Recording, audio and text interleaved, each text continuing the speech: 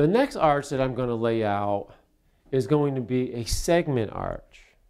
With a segment arch, no matter what width opening I have, I will be able to keep the same height and the same spring line, which is important, as I just uh, outlined here with this uh, radius arch. So this particular archway here, I'm going to cut out, or I'm going to mark out as a segment arch. Now a segment is just a portion of a large circle. So it actually is a radius arch, but it's just a segment of that large circle. In other words, it would just be the upper section of this particular uh, full circle here. That's what we're going to have here. So we got to determine a few things just like we did here. Our height is going to be the same. And I'm going to measure down two inches just like I did on the other one just to, to uh, make sure our heights are actually all the same.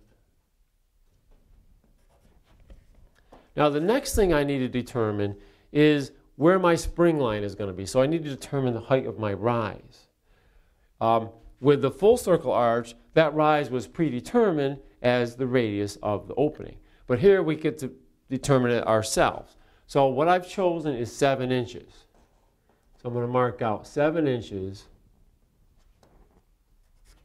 So my rise from the top of the arch is 7 inches.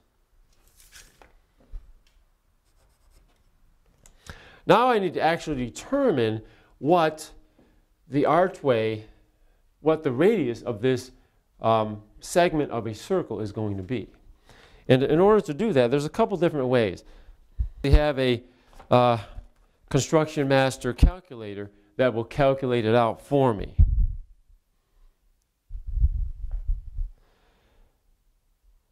The, uh, the run is 36 inch. The rise is 7 inches.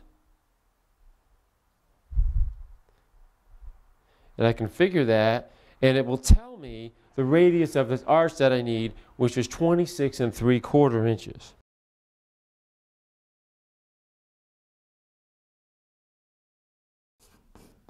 So 26 and 3 quarter inches is the radius of the segment I need for of the uh, circle that I need that I'm going to just use a segment of for my arch. So like the other one, it was 18. This one is going to be 26 and 3 quarters. So down from the top of this archway, I have to measure down 26 and 3 quarter inches.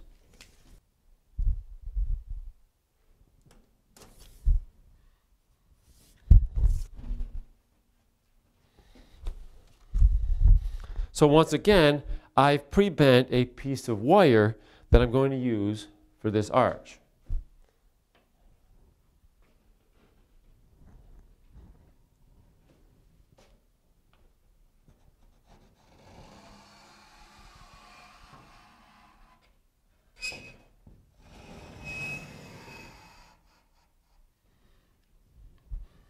So you can see this is my spring line is now seven inches below the height of the arch. So this spring line can be the same no matter what width opening this because I've just calculated out a different radius for, for the different width openings. You can see if I level this across, it's right on my, my, my uh, spring lines are even right across. I like this arch because it gives me a little more room to walk through as well. The height isn't actually narrowed up nearly as much. And I also, what I also like about it is there is a definite point of transition from the curved part to the vertical straight lines. So this, this makes it a nice obvious transition that really catches your eye when you, when you walk in a room. And this is probably my favorite arch to build because I love that type of a transition. There is another arch that you can build that will still have the same height and the same spring line no matter what with opening it has, and that's called an ellipse. So on this next segment here, I'm going to draw an actual elliptical arch.